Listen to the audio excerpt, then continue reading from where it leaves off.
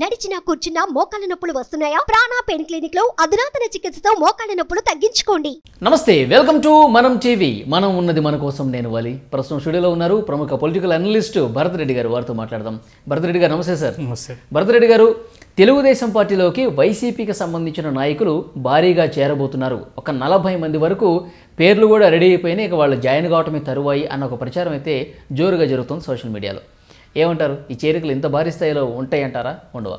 ఈ చేరికలకు సంబంధించి చూసుకున్నట్టయితే పార్టీల ఆధిపత్యం కోసం జరుగుతున్న పోరాటంగా మనం చెప్పొచ్చు. ఎందుకంటే అవతలను డిమోరల్ చేయాలంటే పార్టీలు మారుతున్నారని చెప్పడం. అయితే గతంలో జరిగిన అనుభవాల దృష్ట్యా చంద్రబాబు నాయుడు ఎంతవరకు ఎమ్మెల్యేలను తీసుకుంటారనేది చర్చనీయాంశం. ఎందుకంటే గతంలో అధికారంలో ఉన్నప్పుడు ఇరవై మూడు మంది వైసీపీకి చెందిన ఎమ్మెల్యేలను తీసుకోవడం జరిగింది. ఏం విమర్శలు కూడా ఎదుర్కో- ఎదుర్కోవడం జరిగింది చంద్రబాబు నాయుడు. ఎందుకంటే ఇరవై మూడు మంది ఎమ్మెల్యేలను తీసుకోవడం ద్వారా అతని ప్రభుత్వానికి పెద్ద అవసరం కూడా లేకుండే అక్కడ జగన్మోహన్ రెడ్డికి సింపతి కూడా రావడం జరిగింది. గెలిచిన ఎమ్మెల్యేలను తీసుకున్నారు జైలుకి పంపారు. అంటే ఈ సింపతి అంతా కలిసి వచ్చి కూడా నూట యాభై ఒక్క స్థానాల వరకు గెలవడం జరిగింది. ఏదైతే విమర్శను ఎదుర్కొన్నాడో అదే ఇరవై మూడు మందిని చాలాసార్లు జగన్మోహన్ రెడ్డి ఎగతాళి కూడా చేయడం జరిగింది. మా ఇరవై మూడు మందిని తీసుకున్నారు మీకు ఇరవై మూడే. అని చేయండి అంటే అంత ఈజీగా అంటే చంద్రబాబు నాయుడు రాజకీయాల్లో ఆరితేరిన వ్యక్తి వ్యూహాలు రచించడం దిట్ట. అంటే ప్రస్తుతానికి కొంత బ్యాడ్ టైం నడుస్తున్నప్పటికీ ఎందుకంటే పదవి దిగిపోయిన తర్వాత ఎవరికైనా కొంతవరకు వెనక్కి వెళ్ళే అవకాశం ఉంటుంది. ఆ బ్యాడ్ టైం ఉన్నప్పటికీ చంద్రబాబు నాయుడు తిరిగి నిలదొక్కుకోవడం అని పెద్ద విషయం కాదు. ఎందుకంటే ఈ అరెస్టు సందర్భంగానే చంద్రబాబు నాయుడుకు ప్రజల్లో విపరీతమైన ఒక సానుభూతి వచ్చింది. అధికారం వచ్చేస్తుందా అన్నంత స్థాయిలో సానుభూతి వచ్చేసింది. సరే ఎన్నికల్లో ఏ విధంగా ఉంటుంది? టైట్గా ఉంటుందా? లేకపోతే హోరాహోరీగా ఉంటుందా? ఏకపక్షంగా ఉంటుందా అనేది మనకు తెలియాల్సింది. కానీ మొత్తానికైతే గతంలో కంటే తెలుగుదేశం కొంత భారీగా పుంజుకుంది సానుభూతి వచ్చింది. ఈ సమయంలో ఇలాంటి ప్రయోగాలు వైసీపీ నుంచి కూడా ఎవరు వెళ్ళిపోతున్నారు అనేది కూడా మనం గమనించినట్టయితే వైసీపీ ఇక్కడ మనం ఇక్కడ తెలంగాణను ఎగ్జాంపుల్గా తీసుకోవాల్సిన అవసరం ఉంటుంది.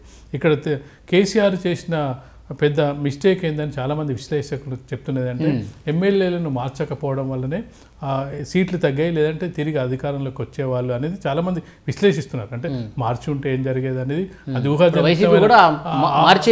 మార్చే ఏదైతే వ్యతిరేకత ఉందో ఆ వ్యతిరేకత ఉన్న వాళ్ళని ఒక యాభై మంది వరకు మార్చే అవకాశం ఉందనేది వస్తున్న వార్తల నేపథ్యంలో ఎవరైతే టికెట్ రాదు అనుకున్న వాళ్ళు వెళ్తున్నదా అన్నట్టు కనిపిస్తుందా? వెళ్ళగానే ఎందుకంటే ఇంకో అంటే ప్రభుత్వ ప్రభుత్వం మీద మంచి పేరు ఉండాలి. జగన్ గారి పరిపాలన మీద బాగుంటే ఈ ఎమ్మెల్యేల ఫ్యాక్టర్ అనేది కూడా కొంతవరకు ప్రభావం చూపిస్తుంది. కొంతవరకు ప్రభావం కొంతవరకు ప్రభావం చూపుతాయి కానీ అంటే ఎమ్మెల్యేను ప్రభావితం చూపించినప్పటికీ ఫైనల్గా ఎమ్మెల్యే అల్టిమేట్ అవుతాడు. అంటే రోజు కనపడే వ్యక్తి ఎమ్మెల్యే. ఎమ్మెల్యే మీద అసంతృప్తి ఉంటే అది ప్రభుత్వంపై సంతృప్తి ఉన్న కొన్ని సందర్భాల్లో గెలిపించలేకపోవచ్చు. ఆ, ఏమంటారంటే మా ప్రభుత్వం మీద మంచి పేరున్న సీఎం మంచివాడే కానీ మా ఎమ్మెల్యే మంచివాడు కాదు. అంటే ఇలాంటి సందర్భాలు కూడా వస్తూ ఉంటాయి. ఇలాంటి సందర్భంలో మనం చూసుకున్నట్టయితే ఆ నలభై నుంచి యాభై మంది పార్టీ మనం ఇప్పుడు పార్టీ మారినా వాళ్ళకి టికెట్లు వస్తాయో రావో తెలియదు మనం చూసుకున్నట్టయితే ఇంకొక ఆరు నెలలు కూడా లేదు సమయం. ఇప్పుడు మార్చి ఏప్రిల్లో నోటిఫికేషన్ వస్తుంది. ఎంపీ ఎలక్షన్స్తో పాటు ఎన్నికలు జరుగుతాయి. అంటే ఈ మూడు నెలలు వాళ్ళు పోయి చేసేది కూడా లేదు. అయితే ఇంకొక అసెంబ్లీ సెషన్ అవుతుందో లేదో తెలియదు. ఆ, ఈ అసెంబ్లీ సెషన్ వాళ్ళ సభ- ఇప్పుడు వైసీపీ నుంచి టీడీపీలో జాయిన్ వాళ్ళు కూడా గెలిచింది ఇరవై మంది ఓడిపోయారండి సార్. అవును. ఓడిపోయారంట వాళ్ళు. పార్టీ మారినప్పటికీ కూడా. ఇప్పుడు చంద్రబాబు గారు కూడా జాయినింగ్స్ విషయంలో కొంత జాగ్రత్తగా వ్యవహరించాలని చెప్తున్నారు. ఖచ్చి- ఖచ్చితంగా. ఎందుకంటే ఇప్పుడు ఈ నలభై నుంచి యాభై మంది చంద్రబాబు నాయుడు మీద ప్రేమతో రావట్లేదు. అంటే జగన్ గారి మీద కోపంతో వస్తారు మంత్రి పదవి ఇవ్వలేదనో లేకపోతే మాకు టికెట్ ఇవ్వాలనో లేకపోతే వేరే అసంతృప్తితో అక్కడ గ్రూపులు ఉండడం వల్ల వేస్తున్నారు. ఆ నలభై మంది యాభై మంది ఇక్కడికి వచ్చినప్పుడు ఇక్కడ పనిచేస్తున్న వాళ్ళ పరిస్థితి ఏందనేది కూడా ముఖ్యం.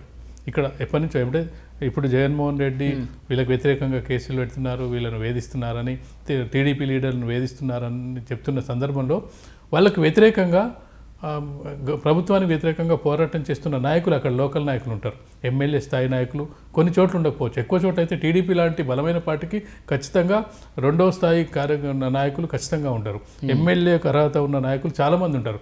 ఒకరు అది ఇద్దరు ముగ్గురు ఉంటారు. అంటే అంత పటిష్టమైన యంత్రాంగం తెలుగుదేశం పార్టీకి ఉంటుంది. అలాంటి పరిస్థితిలో వీళ్ళను ఎక్కడ అకామిడేట్ చేయాలి? అకామిడేట్ వీళ్ళు బేషరతుగా అయితే చేరరు. బేషరతుగా మేము మీకు ఏం ఎమ్మెల్యే మీకు ఇవ్వను అంటే చేరరు. ఏదో ఒకటి. అంటే మీకు ఎమ్మెల్యే ఆ నియోజకవర్గం నుంచి ఇస్తామంటేనే వస్తారు. లేదంటే రారు. అంటే ఒక నలభై మంది చేరినట్టయితే వైసీపీ డిమోరల్ అవుతుండొచ్చు. సేమ్ టైం ఇక్కడ పరిస్థితి ఏంది? ఉమ్. అనుకున్నప్పుడు అది బేషరతుగా ఎంతమంది చేరుతారు? ఎమ్మెల్యే టికెట్ ఆశించి ఎంతమంది చేరుతారు? వాళ్ళకున్న బలం ఎంత? ఈ- ఇవన్నీ చంద్రబాబు నాయుడు ఖచ్చితంగా గమనిస్తాడు. ఎందుకంటే ఈసారి అధికారం అనేది చంద్రబాబు నాయుడుకు అనుకూలమైన వాతావరణం ఉంది. ఎందుకంటే ఒకటి తను ఈసారి లాస్ట్ ఎన్నికల్లో పోటీ చేసే అవకాశం ఉంది. మరో ఎన్నికల్లో పోటీ చేస్తారో చేరో తెలియదు.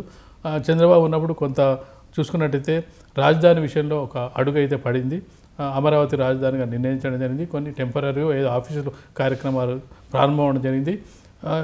జగన్మోహన్ రెడ్డి వచ్చిన తర్వాత ఇప్పుడు రాజధాని ఏంట ఏంట ఏంటో తెలియని పరిస్థితి ఉంది. ఆంధ్రప్రదేశ్ రాజధాని అంటే అమరావతి అని చెప్తున్నప్పటికీ అది వైజాగ్ అమరావతి లేదంటే కర్నూలు న్యాయ రాజధాని అనేది ఇప్పటికి కూడా డైలమాలు ఉన్న పరిస్థితిలో ప్రజలకు కొంత కన్ఫ్యూజన్ ఉంది. ఈ కన్ఫ్యూజన్ చంద్రబాబు ఉంటేనే ఇలాంటి కన్ఫ్యూజన్స్ అన్ని తొలగిపోతాయి. చంద్రబాబు నాయుడు అధికారంలోకి రావాలని కోరుకునే వాళ్ళు చాలామంది ఉంటారు. ఇలాంటి సందర్భంలో మళ్ళీ వైసీపీ వాళ్ళని తీసుకొని మళ్ళీ ఇబ్బందులు పడతారా? లేకపోతే వాళ్ళని డెఫినెట్గా చూడాలి. చేరికల విషయంలో పార్టీ టికెట్లు ఇచ్చే విషయంలో డెఫినెట్ కొంచెం జాగ్రత్తగా వ్యవహరించాల్సిన అవసరం అయితే టీడీపీ సైడ్ నుంచి కనిపిస్తోంది సో మీ అంచనా ఏంటి సార్? నెక్స్ట్ ఏం జరగబోతుంది ఏపీలో? ఏపీలో మనం చూసుకున్నట్టయితే ఖచ్చితంగా ఏకపక్షంగా అయితే ఉండదని మనం చెప్పొచ్చు. ఏకపక్షంగా? ఏకపక్షంగా ఉండదు. గతంలో మాదిరిగా వైసీపీకి నూట యాభై ఒక్క సీట్లు వచ్చిన పరిస్థితి అయితే ఉండదు. ఖచ్చితంగా గట్టి పోటీ ఎదురవుతుంది చంద్రబాబు నుంచి. ఆ గట్టి పోటీ ఇప్పుడున్న నూట యాభై ఒక్క స్థానాలని ఎంతవరకు దిగుతుంది?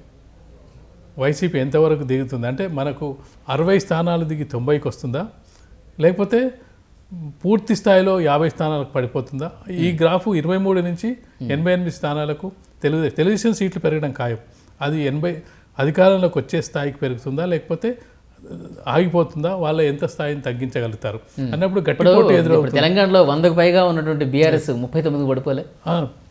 పడిపోవచ్చు. అందుకే నూట ఐదు స్థానాలు. నూట ఐదు స్థానాల్లో వాళ్ళకి ఏమైంది కొంతమందిని కాంగ్రెస్ వాళ్ళని తీసుకున్న సందర్భంగా జరిగింది. ఇక్కడ కూడా పడిపోకూడదని ఏం లేదు. ఖచ్చితంగా కూడా ఇక్కడ ఇంకొక మన ముఖ్యమైన విషయం చూసుకున్నట్టయితే ఆంధ్రప్రదేశ్లో ప్రత్యేకత మనం చూసుకున్నట్టయితే లోక్సభ అసెంబ్లీ ఎన్నికలు కలిసి జరుగుతున్నాయి. అవును. ఈ ఎఫెక్ట్ కూడా మనకు కనిపిస్తుంది. ఎందుకంటే అసెంబ్లీ ఎన్నికల్లో ఓటింగ్ ఒక రకంగా ఉంటుంది.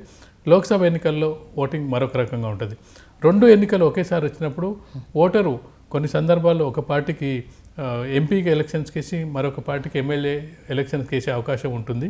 అయితే జగన్మోహన్ రెడ్డి అనుకుంటున్నది ఏంటంటే తను పెట్టిన స్కీమ్స్ ఆ స్కీమ్స్ వల్ల లబ్ధి పొందుతున్న వాళ్ళు తనకే ఓటేస్తారని అట్లాగే కొన్ని బలమైన వర్గాలు నా వెంటే ఉన్నాయని ఆశిస్తున్నారు. అది ఓటింగ్లో తెలుస్తుంది.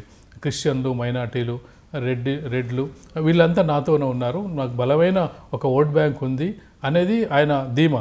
చంద్రబాబు ఏంటంటే ఈ ప్రభుత్వ వ్యతిరేకత ప్రభుత్వం తగిన ఆశించిన స్థాయిలో పనిచేయలేదు దాంతోపాటుగా రాజధాని నిర్మాణానికి సంబంధించి ఎలాంటి కొత్త చర్యలు తీసుకోలేదు. అక్కడ ఎక్కడికక్కడ ఆపింది. అనేది చంద్రబాబు దాంతోపాటుగా చంద్రబాబును అరెస్ట్ చేయడం అనే దాంతో చంద్రబాబు టీడీపీకి జోష్ పెరిగింది. టీడీపీ కూడా కొంత సానుభూతి భారీగా పెరిగిందని చెప్పొచ్చు. యా చూద్దాం సార్ ఎట్లా ఉంటుందో. ఇంక ఎంతో సమయం లేదు. ఫిబ్రవరి చివరి చివరి వారంలోనే షెడ్యూల్ కూడా వచ్చే అవకాశం ఉందని ఒక చర్చ కూడా ఉంది. ఎట్లా ఉండబోతుందో చూద్దాం. Thank you very much thank you అండి